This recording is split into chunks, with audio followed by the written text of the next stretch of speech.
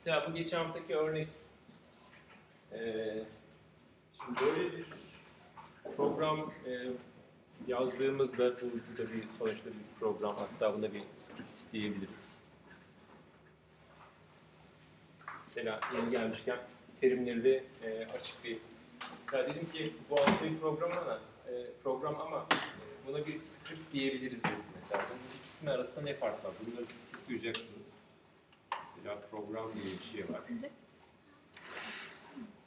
Bir de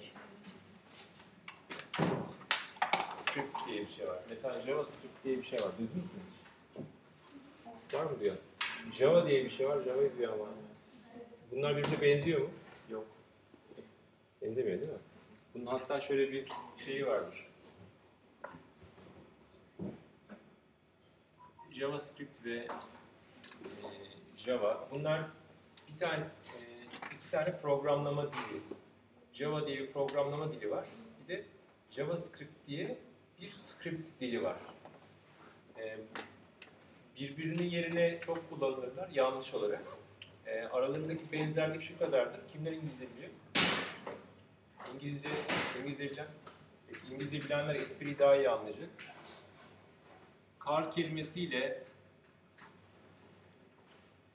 e, carpenter kelimesi birbirine ne kadar benziyorsa bu ikisi o kadar benziyor. Yani alakaları biliyor. E, şimdi script dilleri şöyledir. Script dilini çalıştırmak için başka bir programa ihtiyacımız olur. Mesela JavaScript'i çalıştırmak için bir tane web browser'ınız olması lazım. İşte e, nedir? E, Chrome, Opera e, vesaire vesaire bir sürü e, işte e, Safari falan. Böyle bir tane e, web browser'ına ihtiyacınız olur.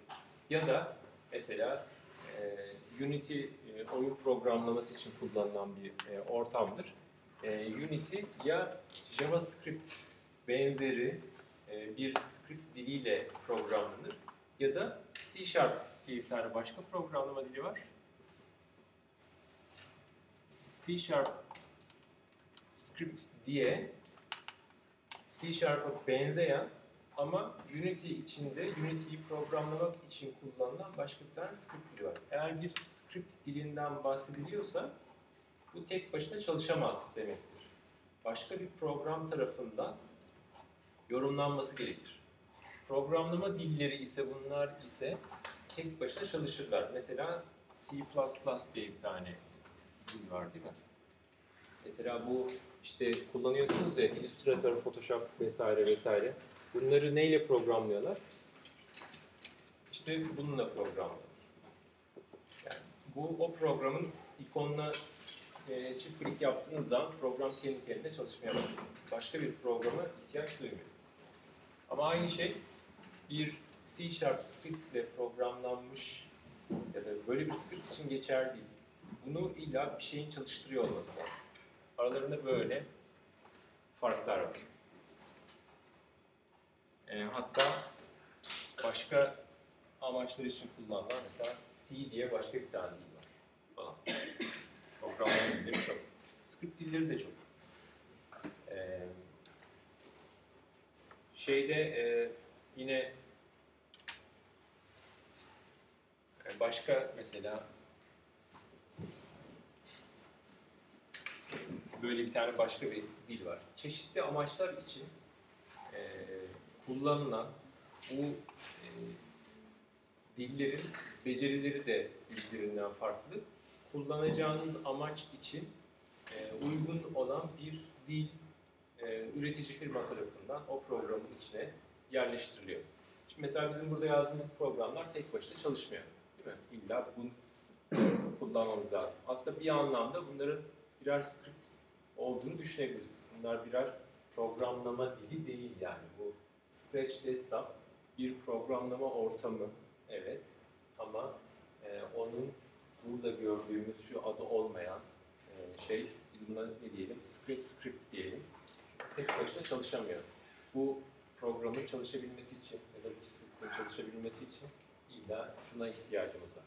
Tek başına çalışabilen bir şey üretebiliyor olsaydık, mesela bir Photoshop falan yazabiliyor olsaydık bu bir programlama dili olarak e, kabul edilebilirdi. Bu ikisi arasında böyle bir fark var. Yani dolayısıyla bir script dilini adı ne kadar birbirine benziyor olursa olsun bir programlama dili yerine kullanmayın. Aralarında farklar vardır. Bir taraftan bu. Ee, ikinci konu, şimdi burada böyle bir takım şeyler yazıyoruz? Böyle sıralar, önce şunu yap, sonra bunu yap falan.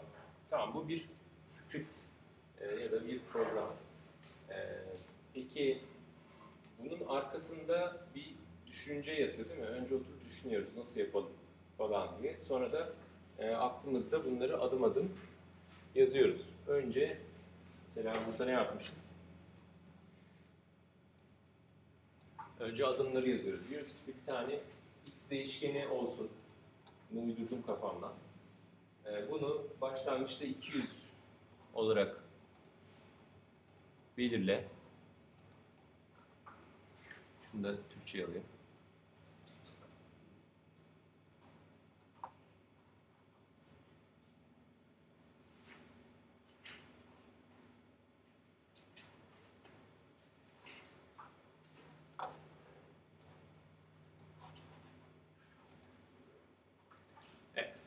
Böyle bir x değişkeni olsun. Bunu başlangıçta 200 olarak belirle. Sonra y'yi de 100'e ayarla. Ondan sonra burada ne yazıyorsa, bu değişkenlerde ne yazıyorsa o konuma git. x ve y konumuna git. Sonra 45 yerine dön falan. Şimdi bu tamam e, bir program ya da bir script ama bunun arkasında yatan bu düşünce ya da bu düşüncelere bağlı olarak yazdığımız adımlar algoritmayı oluşturuyor. Şöyle yazabiliriz burada. Adım 1 x değişkenini kısaca yazıyorum. Ee, x'i 200'e ayarla. Adım 2 y'yi kaça? 0 100 100'e ayarla. Eksi 200'müş. İşte ondan sonra bu konuma git şunu yap falan falan. Böyle adım adım adım adım adım bunları yazıyoruz. Sonra aralarda diyoruz ki mesela şuralarda bu bunu dört defa tekrarla. Burada diyoruz ki mesela adım kaçıncı adım olduğunu bilmiyorum atıyorum. Adım 7. bundan sonrakileri 7 kere tekrarla. Yazdım yazdım yazdım. Tekrarlayacağım yer bitti. Ee, sonra diyorum ki adım 7'ye git. Geri dön. Bu da mesela adım 10 olsun mesela. Bu böyle adım adım yazılmış olan hali algoritma. Yani önce düşünüyorsunuz. Asıl programlama burada yapılmaz bakın. Asıl programlama burada yapılmaz. Asıl programlama burada yapılır. Algoritmayı yazarken yapılır. Yani bir işi nasıl yapacağınızı önce sıraya koyacaksınız. Ee, bu sadece program yazarken de böyle değil. Günlük hayatta da bunu sıklıkla kullanıyoruz. Her gün, her an kullanıyoruz. Şuradan çıkıp, kapıdan çıkıp e, karşıya geçmek için bile bir algoritma yazıyorum. İşte önce e, Beşiktaş'a gidebilirim ya da Karaköy'e gidebilirim. E, ne köprüden geçebilirim, e, tünelden geçebilirim, metro ile gidebilirim, Marmaray'dan geçebilirim falan. Bir sürü alternatif var değil mi? Belli o anki durumlara göre benim zamanıma göre gezmek istiyor muyum? Belki mesela vapurla geçmek istiyorum değil mi? Deniz havası almak istiyorum falan. Ya da acelem var. Ya da işte ne bileyim ondan sonra yapacağım, karşıya geçtikten sonra yapacağım başka bir iş benim Marmaray'la geçmemi e, gerektiriyor. Çünkü onunla metroya bağlanabileceğim falan. İşte böyle bir takım karar e, zincirleri sonucunda kendime adım adım bir iş planı oluşturuyorum. İşte okuldan çık. Ondan sonra nereye döneceğim? İşte sola dön. Karaköy'e kadar yürü ya da işte ne bileyim karşıya geç, e, tramvaya bin, Karaköy durağında in, oradan işte deniz tarafına dön, iskeleye git vesaire bir sürü adım yap, e, adımlar var. E, bunları sıraya koyup uyguluyorum. Bu yaptığınız şey, bu dizinin adı algoritma. Her programın e, bir algoritması vardır. Burada olduğu gibi en basit de olsa ve aslında e, programı yazdığınız yer şurası değildir. Programı yazdığınız yer burasıdır. Burası sadece bu makineye anlattığınız yer. Bunu ister e, Scratch'le anlatın, ister mesela birkaç hafta sonra geçeceğiz processing'le anlatın, ister biraz önce bahsettim e, işte C Sharp'la anlatın falan. Bunların çok fazla bir önemi yok. Programlama dilleri yapacakları işlere göre çeşitli komutlar ve yöntemler içerirler. Yani bir mesela İtalyanca öğrendiğinizi, Fransızca öğrendiğinizi falan e, düşünün. Ama arkada anlatmak istediğiniz düşünce değişmez. Bunlar değişmez. Yani dillerin becerilerine göre öğrenmesi e, kolay ya da zor olabilir. Zaten hiç kimse oturup bütün dilleri e, tek tek öğrenmez. Yani şöyle birisi yoktur mesela. Hiç kullanmayacağı halde e, işte 5000 tane e, programlama e, komutunu e, oturup öğrenen kimse yok. E, bunların böyle Tula gibi kitapları ya da internet üzerinden ulaşılan e, sözlükleri diyelim ya da kullanma kılavuzları diyelim bunlar vardır. Siz yapacağınız işe göre nasıl yapmanız gerektiğini gidip orada e, ararsınız içinden ilgili komutları e, bulursunuz ve onları nasıl kullanacağıyla ilgili örnekleri de bulursunuz e, ve kullanırsınız. Ama neyi biliyorsunuzdur? Kullanmakta olduğunuz dilin gramerini biliyorsunuzdur. Şimdi biz burada kafamızdan bir algoritma yazıyoruz. Ondan sonra buraya geliyoruz. Bu dilin kendine özgü bir grameri var. İşte böyle blokları taşıyoruz. Bir takım şeyleri bizim yerimize yapıyor.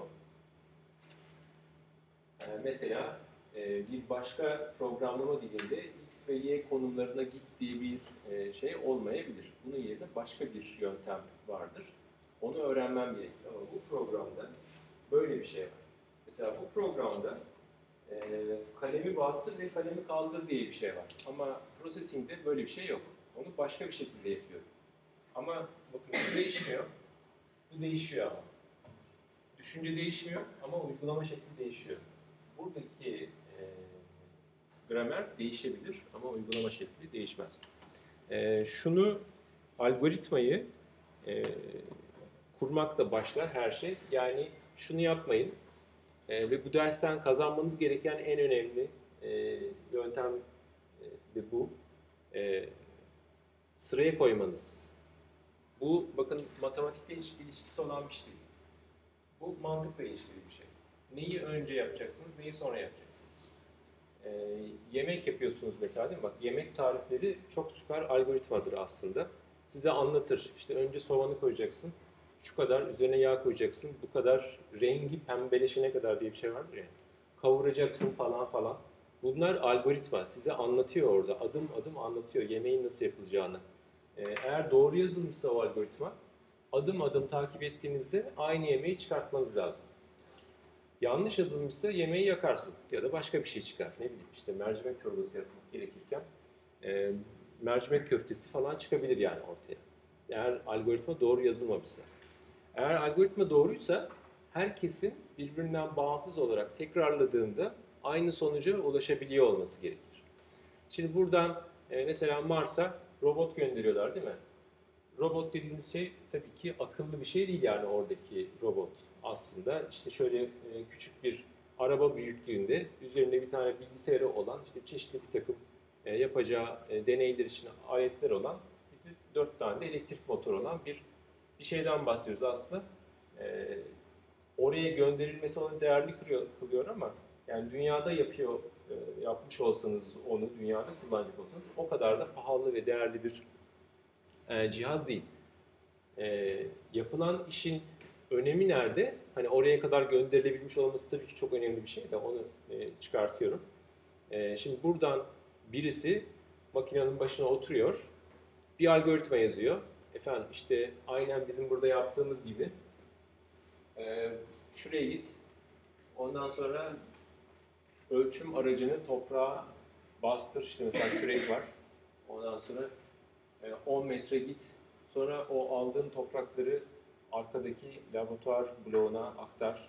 Orada onları pişir, analiz et falan. Böyle bir takım komutlar yazıyor. Sonra onları kendi bilgisayarına simüle ediyor. Ondan sonra ne yapıyor? Mars'a gönderiyor. Bayağı upload ediyor yani oradaki bilgisayara. Oradaki bilgisayar başlıyor çalışmaya tık tık tık tık. Sonra bitti. Tamam ben bunları yaptım diye sonuçları geri gönderiyor. De buradan download ediyoruz. Aslında günlük hayatta yaptığımız şey değil mi? Yani ha e, Google Drive'a bir şey göndermişim, ha Mars'taki uzay aracına bir şey göndermişim. Arada çok büyük bir fark yok. Yapılan şeyler aynı. İkinci bir konu, e, şimdi bir nasıl düşünmeniz gerektiği ile ilgili e, şöyle kısaca bir size şey vereceğim. Küçük bir liste vereceğim. Yani kafayı nasıl çalıştırmanız gerekiyor? Şimdi bir kere e, eğer yapmayı düşündüğünüz şeyi yapmıyorsa ben buradan çizgi çizmeye çalışıyorum ama o çizgi çizmiyor ise çok büyük bir olasılıkla yani %99.9 olasılıkla hata sizdedir. Şuradadır hata. Çok büyük bir olasılık. Yani şu hiç olmaz diyemem ama çok nadir. Yani ben her şeyi doğru yaptım ama program yanlış çalışıyor kısmı çok nadir ki o da e, şöyle çözümlenir. E, Programı kapatır yeniden açarsın ya da bilgisayarı kapatır yeniden açarsın doğru çalışır. Ama hadi bu da bazen oluyor. Çok küçük bir ihtimal ama bazen oluyor. E, ama onun dışındaki her durumda hata mutlaka sizin şurayı yanlış kurmuş e, olmanızdan kaynaklanıyor. O yüzden programa hemen suç atmayın.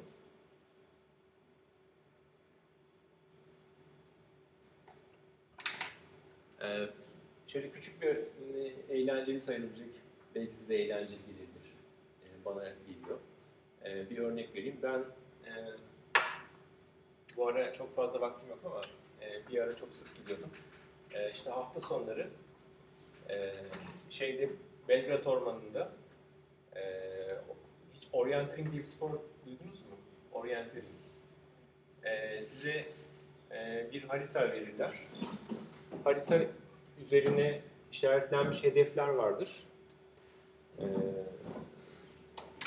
ondan sonra sizin de elinizde pusula var. Sadece pusulanız var.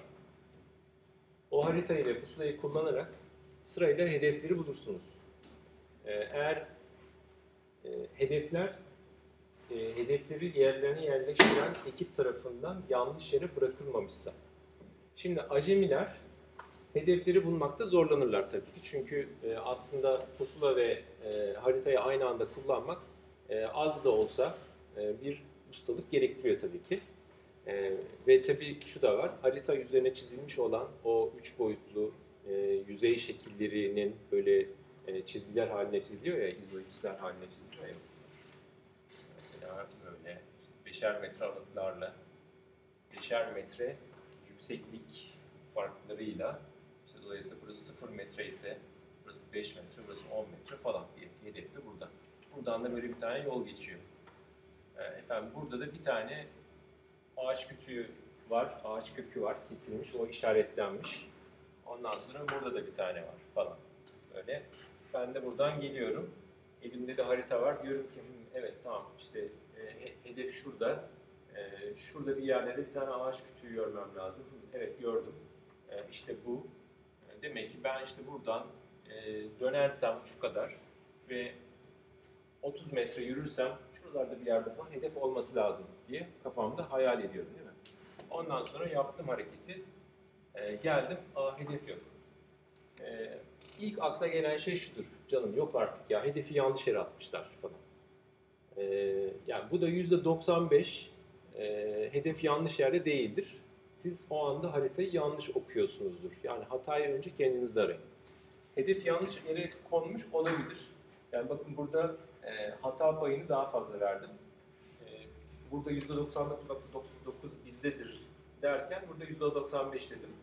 E, çünkü gerçekten bazen hedef 3-5 metre falan e, hatalı e, kaydırılarak atılmış olabiliyor.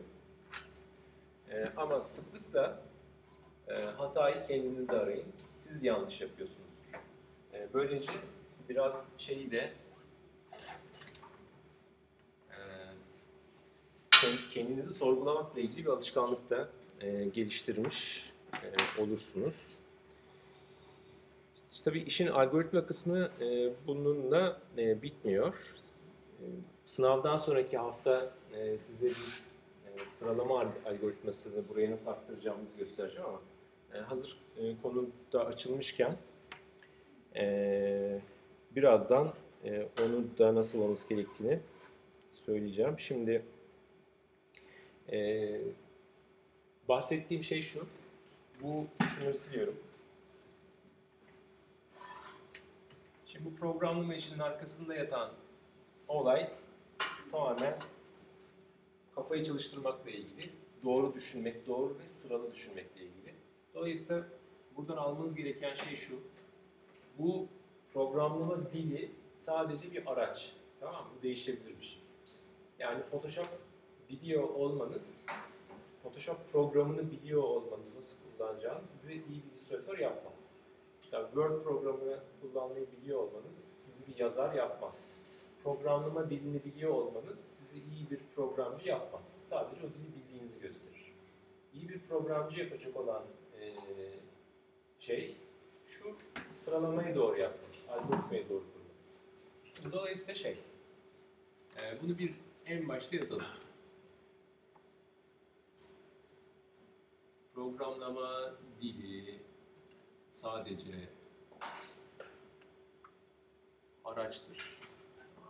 Tamam mı? Bunun da altını çiziyorum. Amacımız dili öğrenmek değil. Amacımız algoritma e, kurmayı öğrenmek ya da doğru düşünmeyi öğrenmek. Ya da birazcık daha bunu geliştirirsem işlemsel düşünme diye bir şey vardır. İşlemsel düşünme. Ya da hesaplamalı düşünme diyelim buna.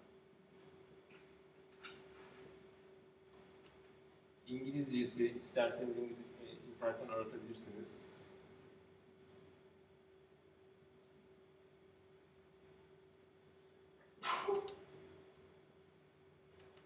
Computational thinking, hesaplamalı düşünme ya da işlemsel düşünme iki kelime de kullanılıyor. Hesaplama kısmı aslında şey değil, kastedilen. İşte dört işlem yapmak değil. Bunda bunu topla, şunu da şunu topla falan değil. Belli bir işin nasıl yapılabileceğini adımlara bölme. Ee, burada da şöyle e, adımlar var. Öncelikle e, size verilen problemin ne olduğunu bir doğru anlamanız ve onu bir formüle etmeniz e, gerekiyor. Birinci adım. Ya da onu şey diyebilirsiniz, e, e, soyutlamanız gerekiyor. Yani problem nedir? E, ikinci adım, e, onu analiz etmeniz gerekiyor. Mesela buradaki e, duruma bakarsak, burada problem nedir? E, yan yana 10 tane atıyorum şimdi aynısı değil. Kaç taneymiş burada? 20 tane. Yan yana 20 tane e, çizgi çiz. Ben size mesela sınavda böyle bir şey verebilirim. İşte şunu çiz. Değil mi? Sınavda böyle bir şey verebilirim. Bunu çiz ama bundan da 4 satır çiz. Tamam mı? Şimdi burada düşünmeye başlıyorsun. Ha şimdi eee bunu hatta ben böyle vermeyebilirim, cümle olarak da verebilirim. Ee, ondan sonra önce bunu çiziyorsun. Tamam, böyle bir şey yapacağız. Peki burada e, ne var? Tekrar eden bir şeyler var mı? Evet var. İşte burada aynı çizgiden 20 tane çiziliyor. Sonra bu gruptan da 4 tane. Bunu yakalamanız bir kere çok önemli. Yani burada ne tekrar ediyor? Önce bunu yakalamanız lazım. İkinci adım, bu tekrar eden şeyin en küçük birimi ne? bu değil mi? En küçük birimi bulup oradan e, yürünebilir. Yani önce parçalara ayırdım. Önce analiz ettim. Sonra parçalara ayırdım. Sonra bu parçayı uygulayabileceğim, bu parçayı çizmek için uygulayabileceğim adımları düşünmeye başladım. Ben bunu nasıl çizebilirim? Bir tane çizgi çizeceğim. Önce belli bir noktaya gitmem lazım. Ondan sonra yönümü şu tarafa çevirmem lazım. Sonra bu çizgiyi çizmem lazım. Önce bir tanesini bir çizebilmeniz gerekiyor. Şöyle sırayla yazalım. Bir soyutlama. İki analiz etme. Üç parçalara bölme.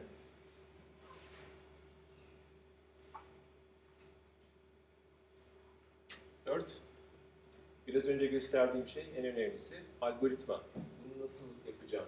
Ben işte bir tane çizgiyi çizersem Sonra bunu 20 tane yan yana tekrar edersem, sonra bu 20'li grubu da alt alta 4 kere tekrar edersem bu olur. Algoritma. 5 Genelleme. Bu e, size değişken kullanın diye zorluyor olmamın e, sebebi bu genelleme yaptığınız zaman öyle bir şekilde yazıyorsunuz ki o algoritmayı. Sadece yan yana 20 tane çizgi değil, istediğim kadar çizgi çiz. 100 tane de olabilir. Alt alta sadece 3 tane, 4 tane satır değil, istediğim kadar olsun. Belki bir tane, belki sadece tek bir çizgi çizeceğim. Ya da diyeceğim ki bir tane çiz, alta geç bir daha, bir daha, bir daha çiz. Bunların bütününü aynı script'ten elde etmek genelleme. Öyle bir yapıyorsunuz ki bunu her şey için kullanıyor. Benzer şekilde çözülebilecek olan bütün problemler için kullanılıyor. Tamam mı? Yani şunlar. Önce problemi e, zihninizde bir anlayacaksınız. E, soyutlamanın yanına şey de yazabilirsiniz. Problemi formül, formüle etme denilebilir.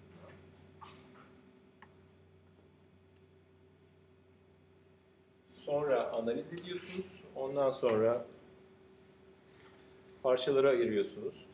Tek, tek çizgi var. Ee, sonra bunu nasıl çizeceğinizi algoritma olarak düşünüyorsunuz. Ondan sonra da genelliyorsunuz. Ee, ilk başlarda doğrudan genelleyerek başlamak zordur. İlk başlarda değil sadece, e, her zaman zordur.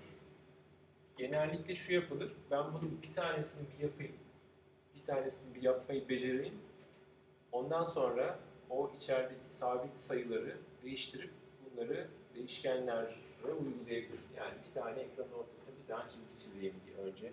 Bunun e, nasıl çizildiğini bir anlayayım. E, sonra gerisine bakarız. Yani aslında birazcık da şöyle, problemi önce küçük parçalara ayırın. Bunu yine hayatınızın pek çok farklı e, yerinde de uygulayabilirsiniz. Böyle büyük karmaşık olduğunu düşündüğünüz bir problem, problem olduğunda önce onu başa çıkabileceğiniz minik parçalara ayırıp onları çözmeyi deneyin. Bu arada belki de problemin bütününü anlamanız için de bu e, işinize yarayabilir. Evet. Buraya kadar var mı soru? Şimdi birazcık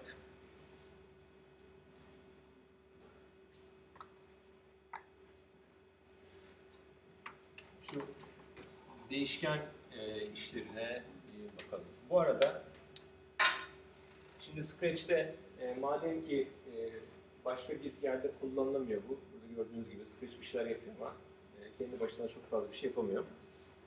Nedense Scratch öğretmeye derdindeyiz. Çünkü e, şu görsel e, yapı pek çok şeyi anlamamızı sağlarken e, temel programlama ile ilgili ya da bilgisayar bilimiyle ilgili olan her şeyi de e, içeriyor. Burada e, öğreneceklerimiz neler? Mesela değişkenler önemlidir.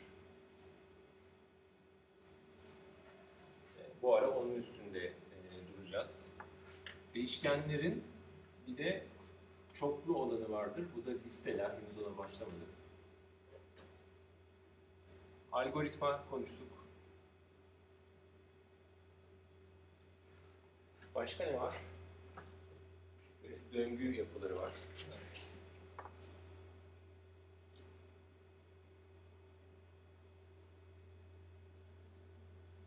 Başka?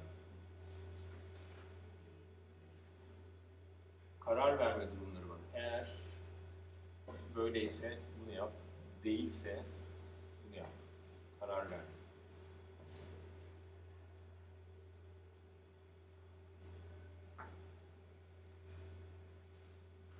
Başka? Daha henüz gelmedik. Fonksiyon ya da metotlar var. Mesela kare, tek tek kare çizmek yerine bir tane kare kareye benzer bir şey ya da bir dikdörtgen. Dikdörtgenin kenar uzunlukları aynı olursa kare olur. Bir dikdörtgen çizen bir fonksiyon yazıyorum. Sonra o fonksiyonu ana programda kullanıyorum. Diyorum ki bak şurada tan tanımlamıştım onu kullan. Bu temel yapıları e, burada öğrenebiliyoruz. E, hatta yine sınavdan sonraki haftalarda şey yapacağız. Mesela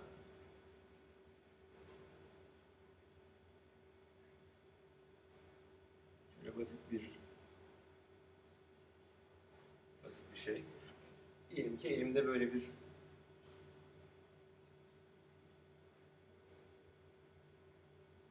Photoshop'ta çalışıyorum. Böyle 5 çarpı 5 piksellik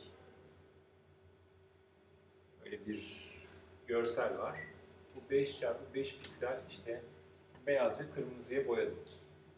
Ee, Bilgisayar bunu hafızasında nasıl tutuyor? Ve hafızasından bir şey ya da diske kaydedilmiş olan bir böyle bir görselin bilgisini tekrar burayı nasıl çiziyor? Bunların her biri bir değişken. Şimdi burada 25 tane değişken var.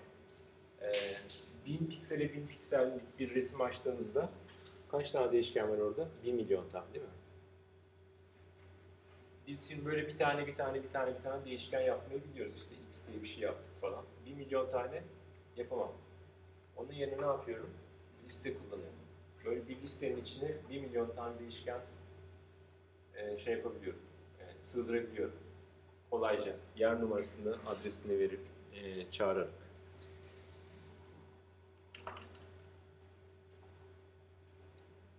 Evet. Peki. Şimdi değişkenlerden biraz daha devam edelim. Örnekleri yaparak. Hatta e, size şöyle bir de problem tanımlayayım hemen. İlk derste aslında Biraz bundan bahsetmiştim. Mesela bakın şöyle bir şekil var.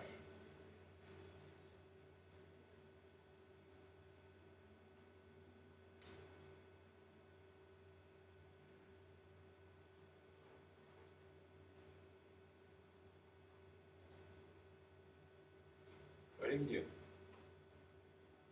Bunu nasıl çizerim? E, düşünelim bakalım. Nasıl çizebiliriz?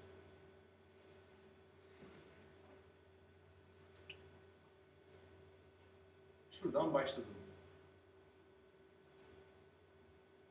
Buraya kadar gittim. Diyelim ki 100. Sonra döndük değil mi? 90 derece döndük. Sonra bir daha yürüdüm. Sonra bir daha döneceğim. Ama asıl numara burada işte. Şimdi bakın aynı yere gelmiyor. Yani olay şu değil. Yani şurada aynı noktada bitmiyor. Eğer aynı noktada bitselerdi ne olurdu? Üstünden geçerdi sürekli. Olay bu değil. Yani kare çizmeye çalışmıyorum. Böyle bir spiral çizmeye çalışıyorum. 100 adım yürüdüm. 90 derece döndüm. Kaç adım gideyim? Yine 100 mü gideceğim? 100 mü? Niye? Değil. Eğer 100, 100, 100, 100 yaparsam yine buraya gelirim. Daha oraya gelmedik ya hocam. Sol tarafı. Ha. Peki şimdi bu çözümlerden bir tanesi. Mesela şöyle bir şey yapabilirsin. çözümlerden biri bu olabilir.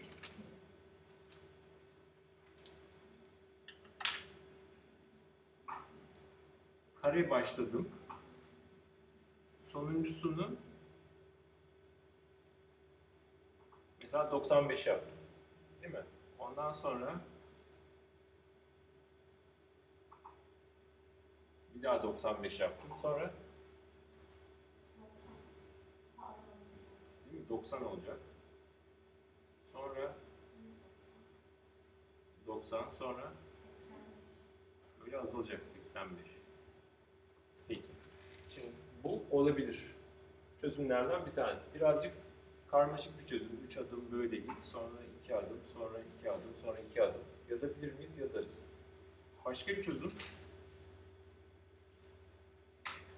Eğer ben size eee, sınavda şöyle bir şey verip bunu çizin demişsem eğer başka bir kural vermeden o zaman bu doğrudur.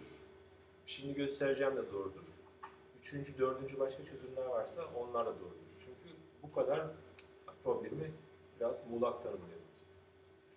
Şu da olabilir. 100 adım git. Dön. 95 adım git. Dön. 90 adım git. Dön. 85, 80, 75 falan.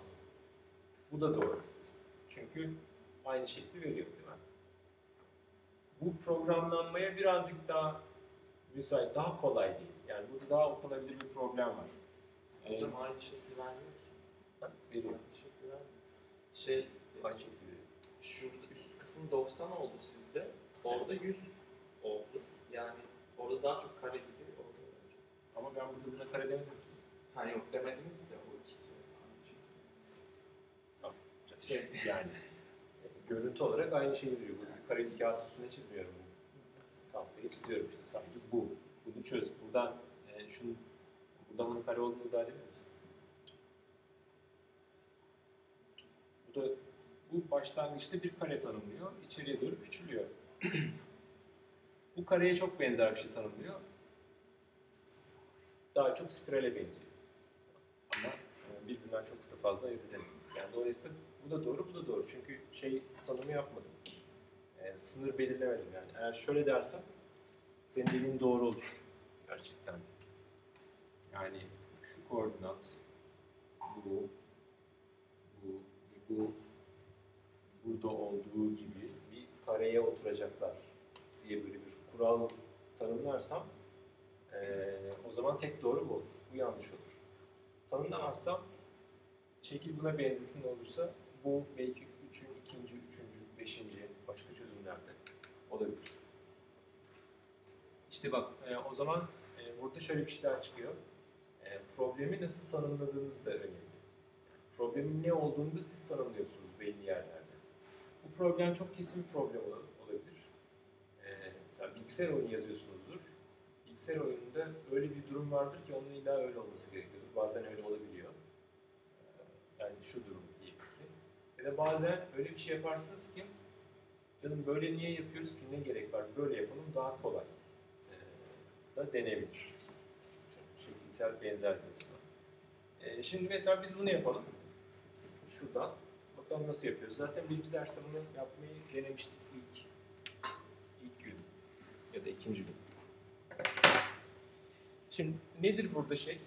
Birim nedir? Önce birimi bulmaya çalışıyorum. En küçük ne yapıyorum ben burada? En küçük ne yapılıyor burada? Belli bir mesafe gidiliyor ondan sonra dönülüyor değil mi? Aynı kare çizerkenki gibi.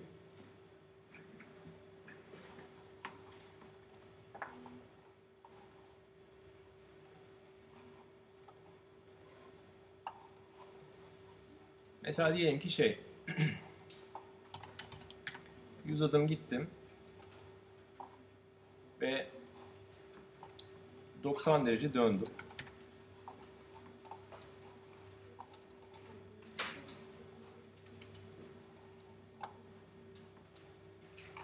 Şimdi bunu bu halde yaptığım zaman bana şunu veriyor. Zaten kareyi veriyor. Bunun yanına bir de şöyle bir şey yapalım. Siliyorum. Şimdi böyle kısalmasını istiyorum. Her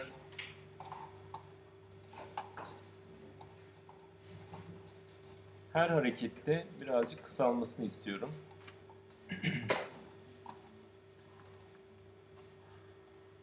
Şimdi şu 100 adım git ve 90 derece dön olayını kadını kaldır olayını mesela şöyle bir şey yapsak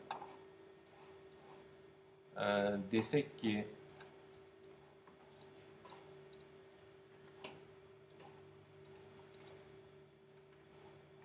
bir değişken oluştur.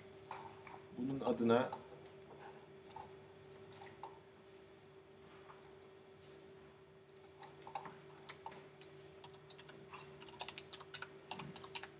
mesela uzunluk diyelim. Şöyle desem, buradaki 100 adım sabit bir sayı ya. Ben buraya uzunluk uzunluk adım git desem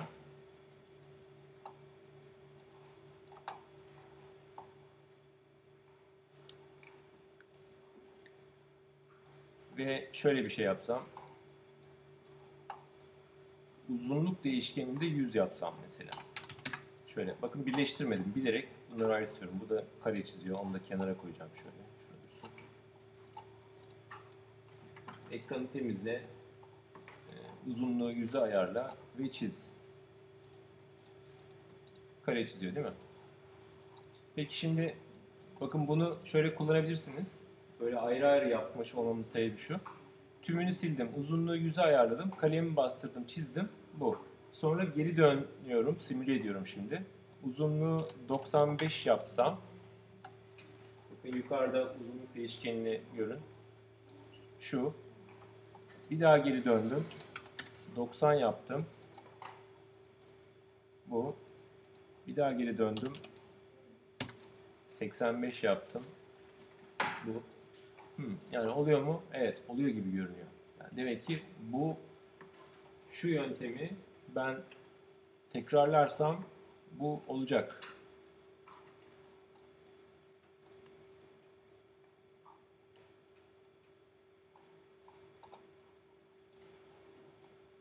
Şöyle yapsak.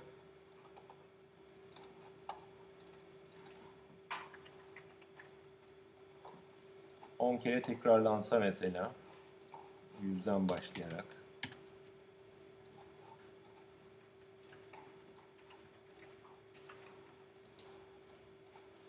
Şimdi ne yapıyor? Üst üste kareler çiziyor değil mi? 10 tane. Niye? Çünkü şunu demedim. Biraz önce elle yapmış olduğum o 5 birim 5 birim 5 birim küçültme işini yapmadım.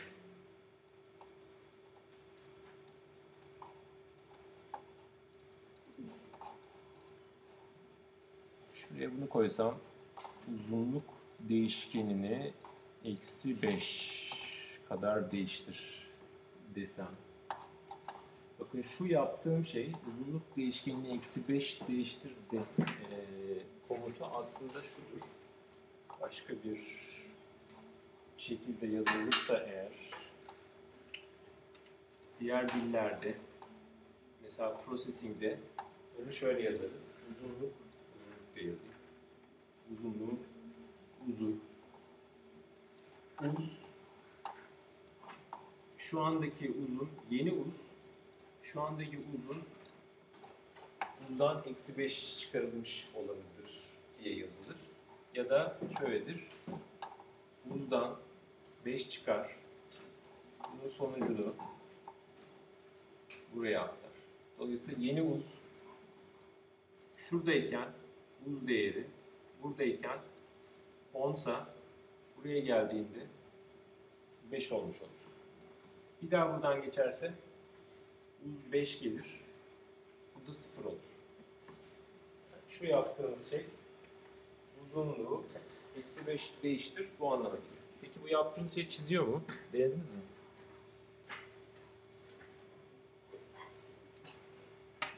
çizmiyor. Niye? Hala şurada bir sabit bir değer var değil mi? Bunun sabit olmaması lazım. Burada, burada diyeceğiz ki uzunluğu uzunluğa ayarla. Yani şu 5 kadar değiştirdim.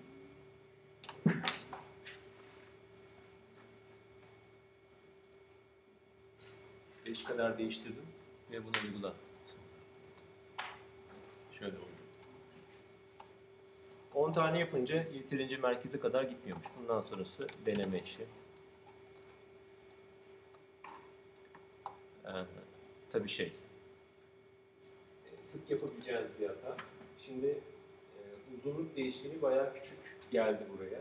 Şurada eksi 55 görünüyor. Eğer ben buralarda bir yerde programı tekrar böyle başlangıç konumuna döndürmezsem eksi 55'ten devam edecek. İyice küçülür. Hatta şu anda görünmeyecektir.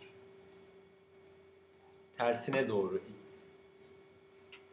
Demek ki şey küçüldü küçüldü ve e, eksi olduktan sonra tersine doğru dönerek de büyütebiliyormuşuz. Ama biz şöyle yapalım. Tümünü silden sonra uzunluk değişkeni için bir başlangıç değeri verelim. 100 olsun. O, o sabit. Uzunluk her zaman 100'den başlayacak.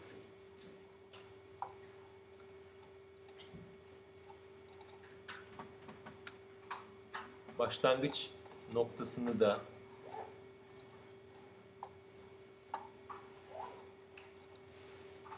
sıfır alalım konumlarda. Şöyle olsun. Yani kedi şurada.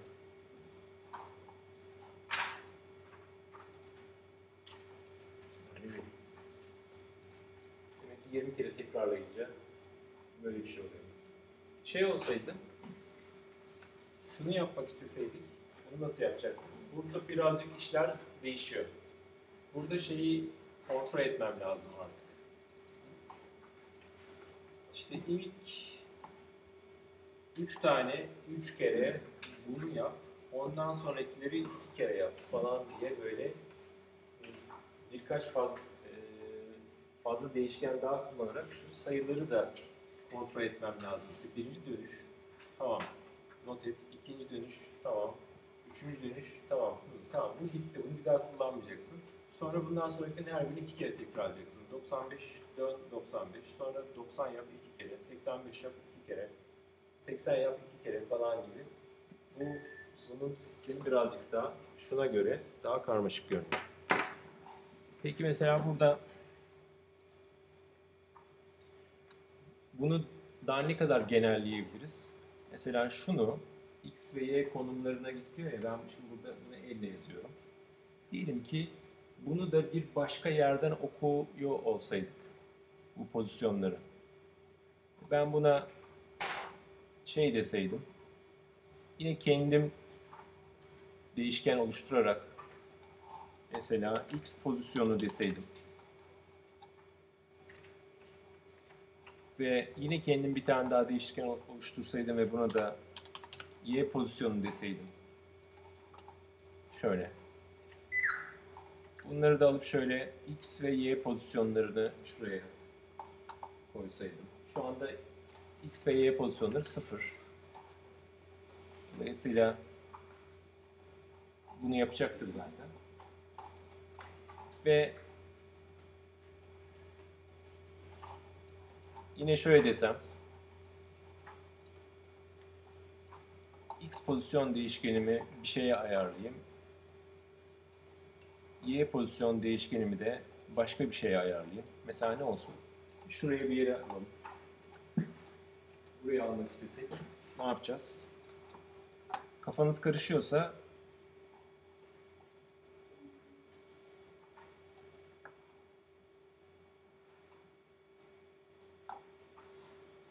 Şu grid'i kullanabilirsiniz.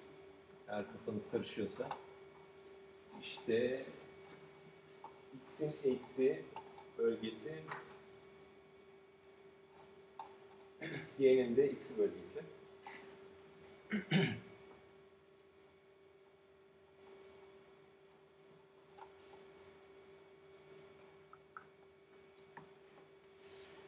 Ee, script'im nereye gitti? Niye kayboldu? Yok, sahne seçili. Evet. Sahne seçili. Sahneleri de ayrı script yazılabiliyor. Bunları da ayrı script yazılabiliyor. Yani nereye gitti kaybettim falan paniğine kapılmayın. Burada. Ne yapacağız? Başlangıç x pozisyon eksi 150. Y pozisyon eksi 150. Buraya çizdi. Peki daha büyük bir şey yapmak istesem uzunluk 100 olmasın 200 olsun.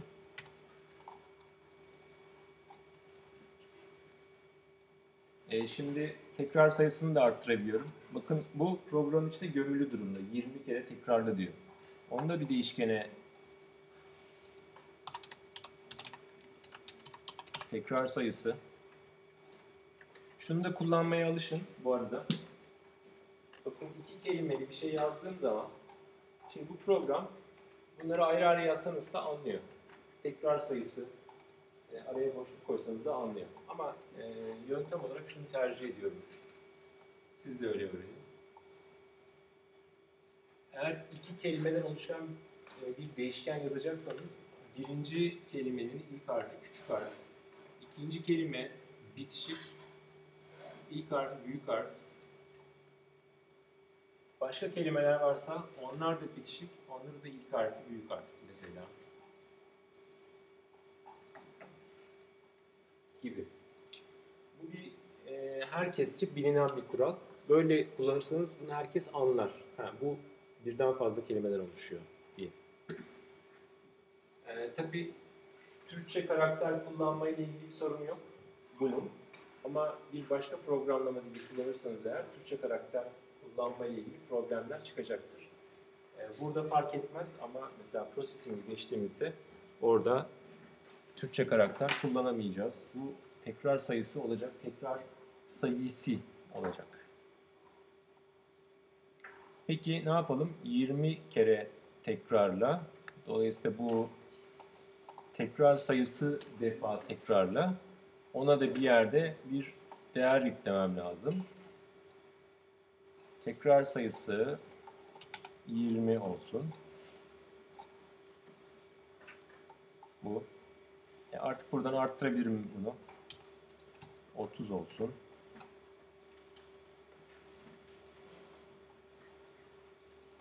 Gibi. Şu anda çalışıyor görünüyor. Demek ki bu blokları birbirine birleştirebilirim. Ve şuradan e, bayrağa bastığımda, start'a bastığımda çalışabilmesi için ya da play'e bastığımda çalışabilmesi için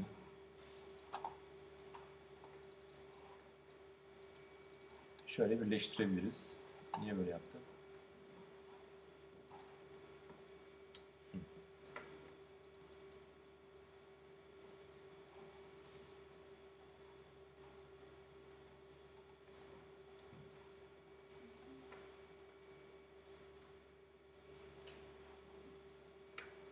Ee, bir şey daha söylemem gerekiyor. Neyi eksik bırakmışım? Bir şey daha eksik. Konu. Yön. Yüzü nereye bakacak kısmı.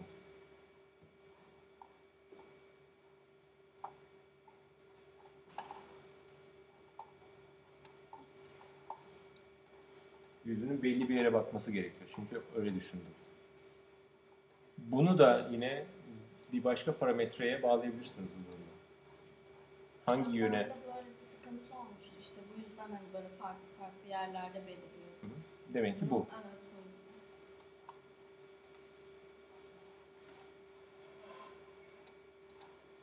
Şimdi bu durumda hep aynı şekilde sonuç vermesi gerekir. Ama dediğim gibi bu mesela yön diye bir başka parametre daha eee, var burada. Buna bağlı bir değişken oluşturulabilir. Yön de başka bir şey değiştirilebilecek, kolayca değiştirilebilecek değişkenle kontrol edilebilir. Bunları niye böyle bölüyorum? Yani hepsini program içine gömsem ne olur? Ee, şimdi şöyle bir şey olur. Ee, burada şuradaki sayıyı değiştirmekle buradaki sayıyı değiştirmek yaklaşık aynı zorlukta olan şeyler. Bu birinci sebep. Ee, ama bir programda siz mesela ee, hiç aranızda AutoCAD kullanan oldu mu? AutoCAD. Evet. Mesela AutoCAD'de e, AutoCAD'de bir sürü e, bir sürü değişken vardır ve onları değiştirebilirsiniz ve hatta onlar bir e, text dosyasında da yazılıdır. Ve mesela AutoCAD'den DXF diye bir çıktı alırsınız mesela text dosyası. Onun ilk böyle 3-5 bin satırı o değişkenlerin hangi değerlere sahip olduğudur yani. Bunun dökümünden oluşur sadece. Ee, şimdi programı bir kere böyle buna hardwired deniyor. Kablolanmış diyelim. Ee, böyle kurduğunuz zaman yeniden değiştirme şansınız yok. AutoCAD programı alıyorsunuz ve bir, tek şekilde çalışıyor. Hiçbir şeyi değiştiremiyorsunuz. Böyle kurduğunuz zaman ise program bu değişkenlere bağlı olarak çalışıyor. Bu değişkenleri değiştirebileceğinizde başka bir e, arayüz oluyor. Oradan değişkenleri değiştiriyorsunuz. Bilgisayar oyunu oynuyorsun. Ha, ben benim bilgisayarım e, işte 1920'ye 1080 çözünürlüğü kaldırmadı. Bilgisayarım yavaşlıyor. E, dur o zaman setup'ı açayım. Oradan çözünürlük değiştireyim. Dediğimde buradan e, bir takım parametrelerin değerlerini, bu değişkenleri, değerleri değiştirmiş oluyorum.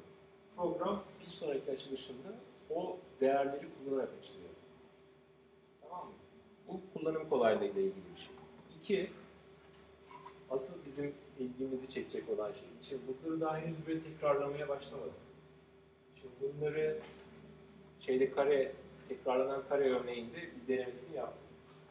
Öyle bir tekrar işine girdiğimde şunların her birini mesela bu pozisyon, Y pozisyon değerlerini programın içinden de kontrol ediyor olmam gerekiyor. Değiştirilebilir şeyler olmalı ki bunun aynısından yan yana, yan yana, yan yana bir sürü çizebileyim. Değil mi? O zaman demek ki şu kare örneğinde bir yapsak fena olmayacak. Buraya kadar anladık mı? Var mı soru?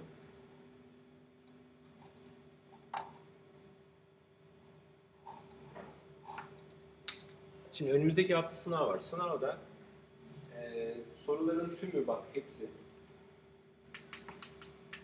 değişkenlerle çözülecek. E, bunu öğrenmeniz e, zorunlu. Kaç soru olacak? E, yani sınav 45 dakika olacağına göre en fazla 3 soru olur. Yani 15 dakika. Eve gittiğiniz zaman bunlara çalışıyorsunuz. Bunu anlamanız gerekiyor. Bu bisiklete binmek gibidir. Bir kere anlarsın. Çünkü bu ezberlenebilir bir şey değil. Bu ancak anlaşılabilir bir şey. Bunu bir kere anlarsın. Bir daha da hayatın boyunca hiç unutmazsın. Aynı bisiklete binmek. Bir, şurada biraz önce yazdım sildim. O fonksiyonlar şudur budur bilmem ne. Bunlar bir kere anlaşılır. Bakın ezberlenebilir şeyler değil bunlar. Bir kere anlıyorsun. Sonra hep kalıyor.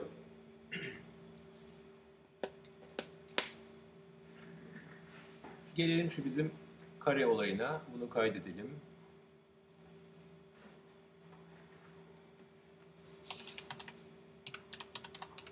Ya da köşeli spiral diyelim buna.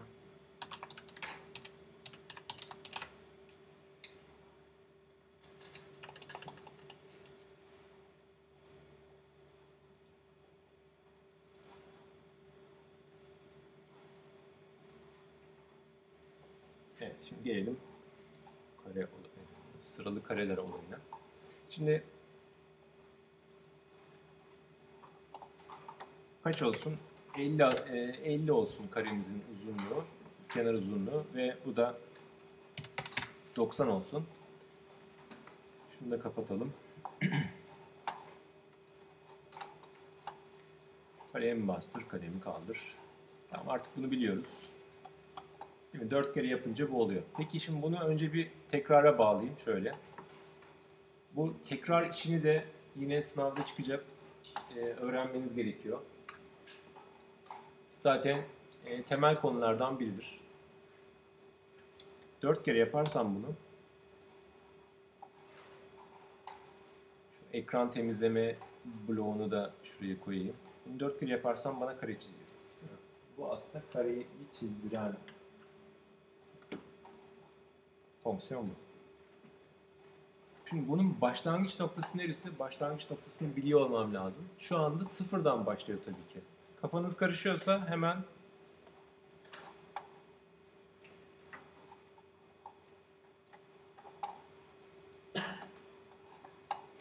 arkasına koyun. Kafanızın karışmasını engeller. Sıfırdan başlıyor. Sıfır olduğunu nereden biliyor? Çünkü en başında öyle söylenmiş. Zaten hiçbir şey söylemesek e, default durumu bu. Şimdi ben diyorum ki yani tamam birincisini sıfırdan çizim, başlayarak çizmiş olabilirsin ama bir sonrakinin x koordinatını şöyle bir 50 birim bu tarafa kaydırman gerekiyor. Dolayısıyla şöyle bir şey yapıyorum. Bir değişken oluşturuyorum. Neydi? X pozisyon. Y pozisyonu da vardı. Zamanı gelince yaparız. X pozisyon. Şimdi bunun önce belli bir pozisyona gitmesi lazım. Buraya git. X pozisyon konumuna git.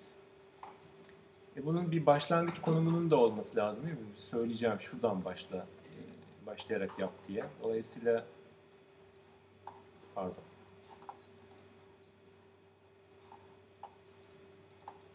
X pozisyon değişkeninin de sıfır olduğunu kabul edelim. Dolayısıyla bu eğer mesela şurada dursa bu yine aynı şeyi çizer değil mi? Şimdi bunu çizdim, bitti. Sonra şuraya diyeceğim ki bakın içine değil. Bu kareye çizdiriyor. Bundan sonra diyeceğim ki x pozisyon değişkenini bir değiştir, yerini değiştir bunu. Ne kadar değiştirecek? 50 birim. Şu.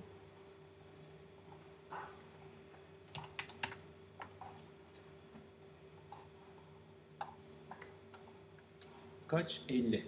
Şimdi yeniden başlattığında yanına çizmesi lazım. Değil mi? Böyle gidiyor.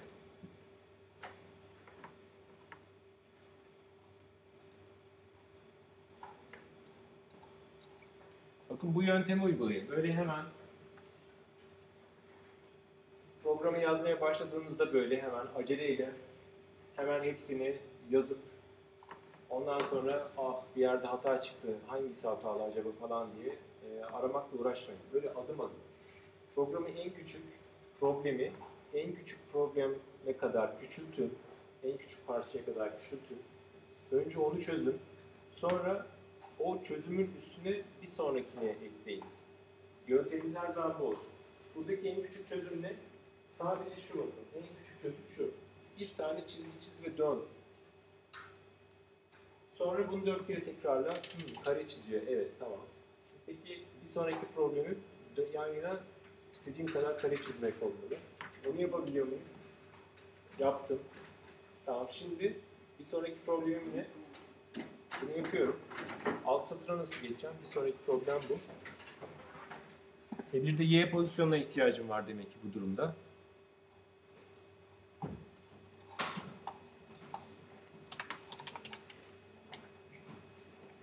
Y pozisyonu ne? 0. Halbuki kaç olmasını istiyorum? Mesela alt satıra geçeceğime göre eksi 50 olmasını istiyorum değil mi?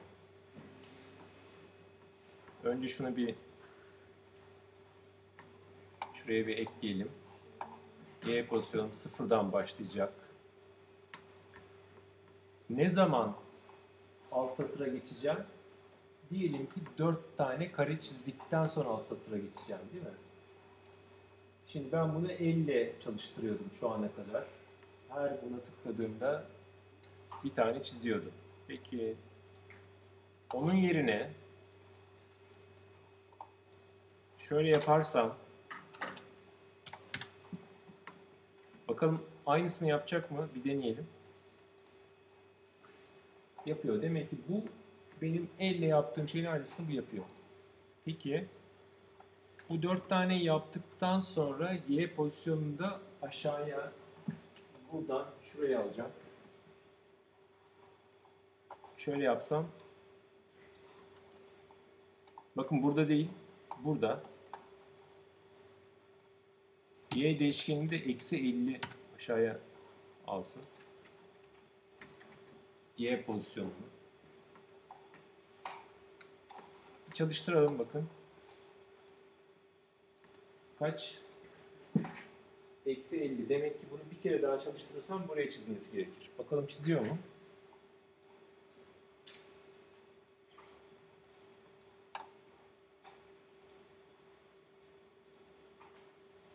Çizmedi. Niye? Evet, çünkü şuraya bir şey eklemeyi unuttum. En son şeyi yok tamam öyle. Yok şunu şuraya koyacağım ya. Unutma yani aslında doğru doğru yapıyor. Eğer böyle yaparsam değiştirdi ama programı yeniden çalıştırdığında y'yi sıfır yaptı. Şöyle. Birinci tekrar. ikinci tekrar. X pozisyonu şeyde kaldı. Evet. En son.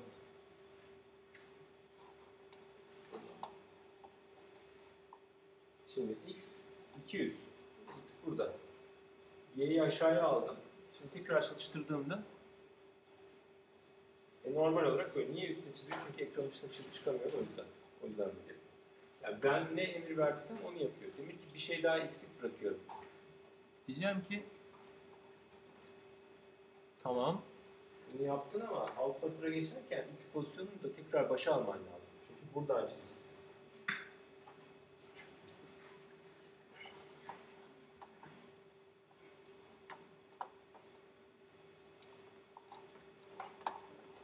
X pozisyonunu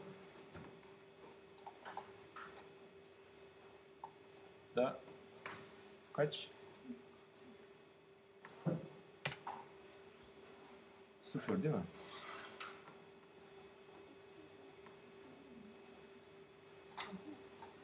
Belki böyle böyle böyle aşağı doğru sonsuza kadar gidebilir. Peki bunu kaç kere yapmasını istiyorum? Bunu da yapsın işte dört kere.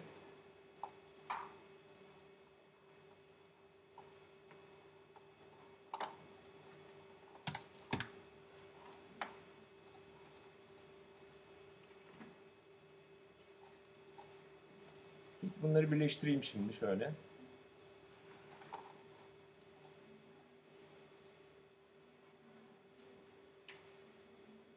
Evet, bu kafayla yürürsek demek ki oluyormuş.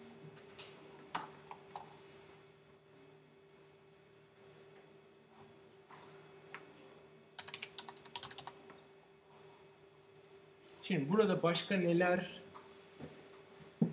parametre haline getirilebilir? Mesela sabit olanlar bakın. Dört kere tekrarla, dört kere tekrarla falan gibi şeyler var. Şimdi bu ilk dört tekrar ne yapıyordu? Bunları yapıyordu. Bunlar ne? Bunlar aslında birer sütun değil mi? İkinci dört, dört tekrarda bunları yapıyor. Bunlar da aslında birer satır. Şöyle bir şey yapabilirim mesela. Bunu sütun sayısı, bunu da satır sayısı olarak değiştirebilirim. Onları da buraya ekleyebilirim. Dolayısıyla satır ve sütun sayısını da kontrol edebilirim. Bir başka değişken kullanarak. Bunu değiştirirsem artık kare çizmez hale geliyor. Ha, iyice abartabilirim. Bu bir kare çizme programı olmaz. Bu bir poligon çizme programı olur. Derim ki eee 90 derece dönme, 45 derece dön dersem sekizgen çizer. Bu kenarı uzatıp sekizgen çizer. Ama bu sefer şeyleri falan hesaplamam lazım. Yani iş birazcık karışıyor. İşte bunun da 8 tekrar olması lazım o zaman. Ee, bir sekizgen çizdikten sonra kaç birim kenara kaydırmam gerektiğini ayrıca hesaplamam gerekir vesaire vesaire. İş birazcık da matematiğe giriyor. Ama sonuçta yapılabilir mi? Yapılır. Değil mi? Çok benzer bir şeyle bunu 3-5 satır azıcık da böyle 4 işlem eklediğimde e, bunu bir e, ister üçgen çiz, ister sekizgen çiz, eşkenar üçgen tabi. Kare, işte beşgen, altıgen falan. Bunları çizebilecek hale dönüştürebilirim değil mi? iyi bir proje konusu olabilir. Matematiği nerede kullanacaksınız? İşte ister istemez e, bu eğer tekrar edecekse yani burada olduğu gibi yani şu uzunluğu biliyorum yanına bir üçgen daha çizdiysem burada hesaplamak kolay. Karede kolay ama burada çok kolay değil. Böyle bir şey var. Şimdi şu uzunluğunu biliyorsam eğer, eşkenar beşgense bu, başladığım noktadan şu noktaya olan uzaklık nedir hesap etmek için işte şuradaki açı ve trigonometri falan gibi şeylerden ki o böyle küsuratlı bir sayı çıkacaktır. Onu hesap etmem gerekir. Falan falan. Yani işin birazcık daha böyle matematik kısmı oluyor. Oralara çok fazla girmek istemiyorum. Bizi çok fazla e, ilgilendirmiyor. Ama merak ediyorsanız deneyin. İyi bir sizin için de iyi bir çalışma olabilir. Buraya kadar var mı sorun? Herkes anladı mı? Herkes değişkenleri anladı mı böyle? Sular senler gibi biliyoruz değişkenleri falan. Peki.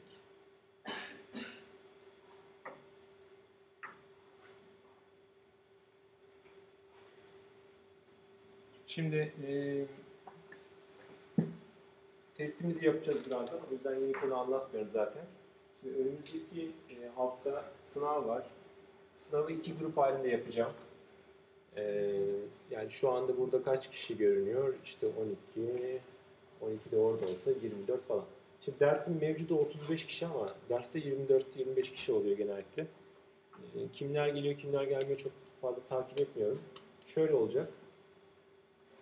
Sınıf listesinden alfabetik sırayla işte ilk eğer listede 35 kişi varsa ilk 17-18 kişi saat 9 çeyrekte, ikinci 17-18 kişi de e, 10'da 9 çeyrek 10 evet 10.45 gibi falan biter gece. 09.15 ve bunu 10'da başlayamayız ama 10.05 diyelim. Ya da bunu 10 diyelim şöyle. 9'u 10 geçe başlayalım. Diğeri de arada 10 dakika şeyimiz kalıyor. Şimdi çıkma, yerleşme falan şeyi kalıyor. Yani bir grup dışarıda duracak. Herkes burada sınavın olacak. Toplu halde çıkacaksınız. Toplu halde girilecek, yerleşecek. Aynı sorularla ikinci grup bir daha sınav olacak. Sorular böyle olacak. Yani bu olmayacak ama buna benzer şeyler olacak. Ee, değişkenler kullanarak çözmeniz istenecek. Dolayısıyla bunu anlamanız gerekiyor. Ee, içinde kesinlikle döngüler olacak, değişkenler ve döngüler olacak ve bir şeyler çizilecek. Ee, bunun dışında bu sınav için başka bir konu olmayacak. Yani bunu anlamanız e, bence şu an için yeterli. Bundan sonrakinde ise bütününden yapacağız. Ona o zaman bakarız. Peki. Var mı sorun? Geçen hafta gelmeyen var mı? Kaç? 1, 2, 3, 4 kişi mi? Geçen hafta olmayanlar.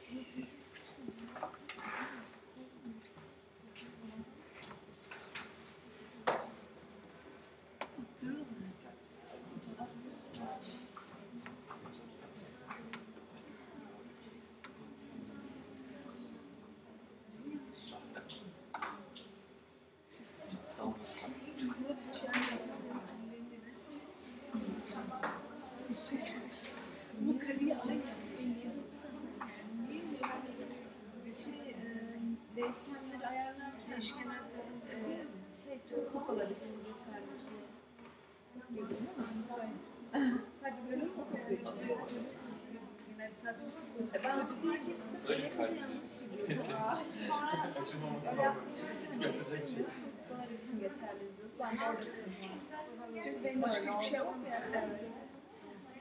Bak ona dikkat edin. Biraz bana da şu. Aşırı şekilde olmazsa şey, biraz aç kapatıyorum. Ben onu sordum. Lütfen.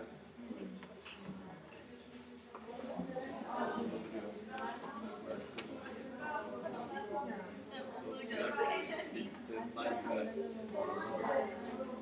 Şu arkadaki perdeleri kaldırabilirsiniz.